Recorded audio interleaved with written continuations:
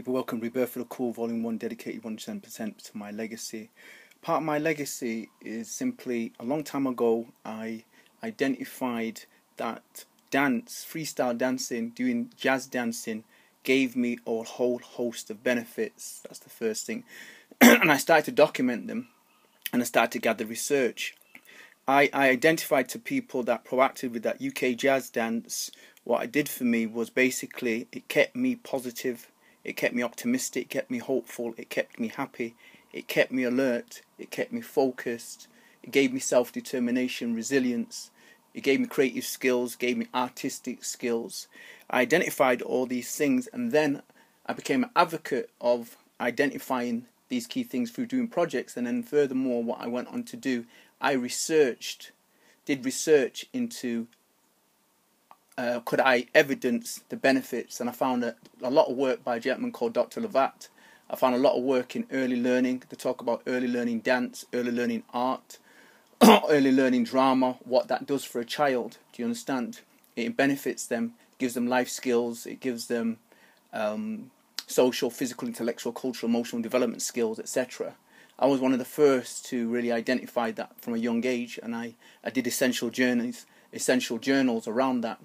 Uh, and what happens, the individual, I'm still advocating that today as individual, backed up by research today by dance psychologist and expert Dr. Lovatt, who's one of my champions because Dr. Lovatt is a dyslexic, is a person with dyslexia who went on to become a he was a dancer who went on to become a dance psychologist as his career and I'm very much into sustainable dance careers so I, I'm an individual start to start to look talking to case studies around dancers becoming sustainable dancers or becoming sustainable leaders in their industry. Dr. Lovatt is one. Hilary Carty is one. She's head of Clore leadership program.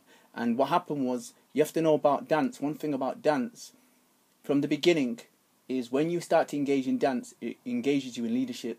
Because what happens is I went on to be a dance teacher, dance coach, a dance mentor, dance choreographer, a dance educator, dancing education educator, dancing theatre, dancing the commercial industries. All of these are leadership roles. Do you understand? They involve team building. They involve teamwork, working with people, and basically dance is very much an empowering subject do you know what I'm saying? Uh, I'm an individual empowers people using holistic ways. So this my project Rebirth Cool identifies some of these. Some of these are my key legacies. The other legacy is my longevity to evidence that that dance had benefits because dancers were and dancers have benefits to communities.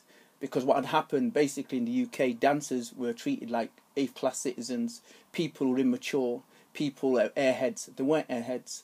The dancers give a lot of commitment to the art and it was not recognized. So one of the key things you talk about dancers, what the key things it takes to be a dancer, you need emotional intelligence, you need courage, you need a plan, you need scientific knowledge. To be a dancer, professional dancer, which I am, I self trained myself to be a professional dancer and then I got some training later on.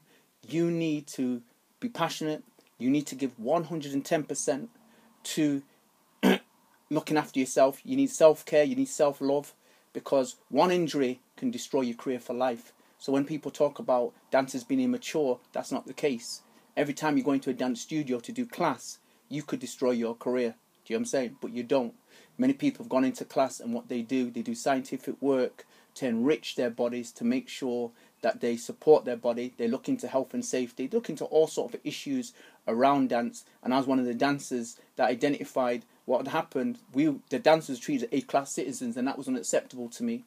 As even that's one key thing. Secondly, it was unacceptable to me as a dancer who self-trained himself in cultural dancing, that included different dance styles for other people to claim that formal dancing gave me the discipline gave me the understanding of how to engage in dancing. It never happened that way around. It happened from my underground jazz dancing, gave me the aptitude, the abilities, and sports and arts and complementary arts, gave me the understanding, the discipline that was needed, the self will, the self determination to do ballet, to do contemporary successfully, surpassing people who'd been dancing longer than me. Sports gave me a better, sports excellence gave me a better understanding of how to engage in dance than dance excellence gave me a better understanding to engage in sports. You understand? You have to really understand what I'm saying here at the moment, because usually people say that ballet is the one that gives you discipline. You don't only get discipline from ballet; you get discipline from martial arts. You get discipline from sports and you get technique. People talk about ballet technique.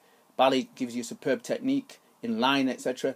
You don't only get line from ballet, you get it from martial arts, you get it from other sports as well. So it's important for people to understand that.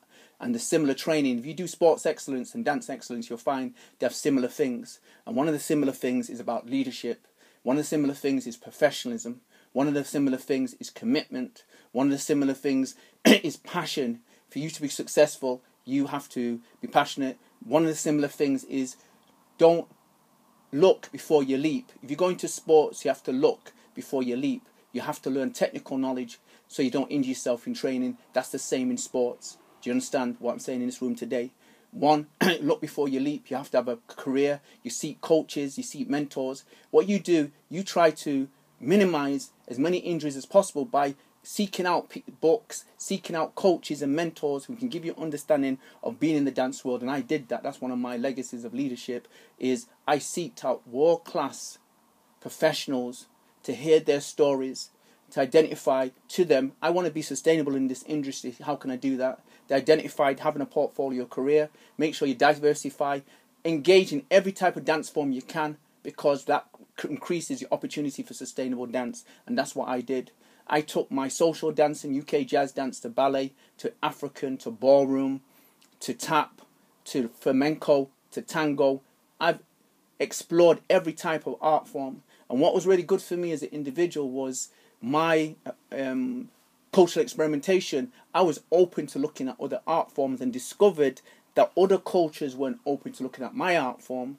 They did debased UK jazz dance, uh, BLU UK jazz dance, or UK jazz dance in general, and freestyle dance, and that was unacceptable for me. So that changed me to decide: look before you leap. What are you going to specialize in? I decided to specialize in my own style, BLU UK jazz dance, which I identified gave me all these benefits, gave me understanding of how to engage in other dance forms from a different perspective, but having an understanding that what happens is most dance forms around the world particularly jazz, are cultural came from cultural cross-cultural experimentation and from people being open. And what's happened over many years, dance became elitist. And what happened was people stopped being open. So a lot of young people now they may do hip hop, they don't look at other styles, n- not realizing that their style is came from cross-cultural experimentation.